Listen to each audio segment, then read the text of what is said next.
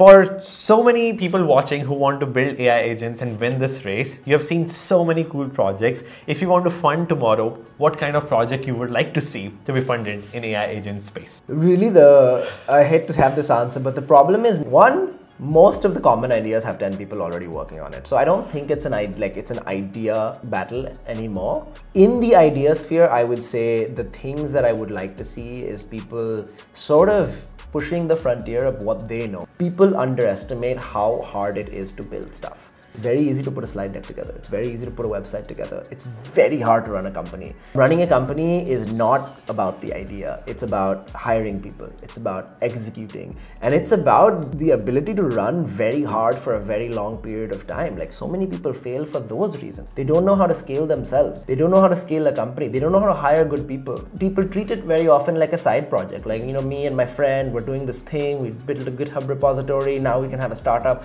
Great. I know I've, I've seen all the shows. I know how glamorized startups mm-hmm. are. But that's not why you should be building a company. You should be building a company knowing that you're going to put seven years of your life into it, sacrifice all your relationships and money. But what I really look for is the drive the ability to execute. The team is what really, really matters. One quote I like to say is that founder can run through walls.